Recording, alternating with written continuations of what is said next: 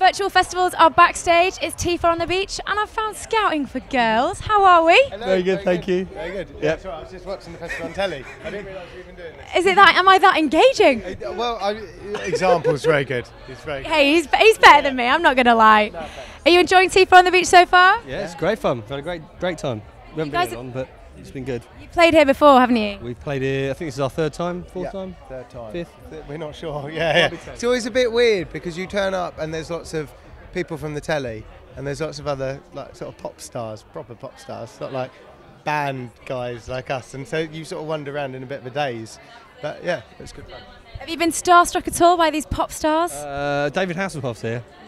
Yeah. I'm a little bit starstruck about that. So we didn't even tell Pete because uh, He will go on a hunt. yeah, a hassle Yeah. hunt. yeah. Yeah, so th- anyone that you're interested in collaborating with, because there's lots of kind of like artists around who seem to be collaborating with each other.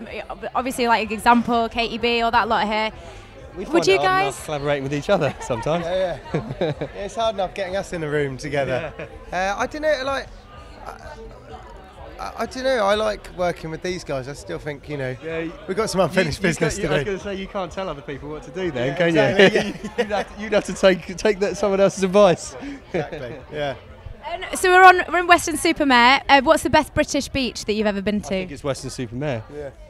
Absolutely. Of course. Boys, thank you so much for your time and have a great festival. Thank you.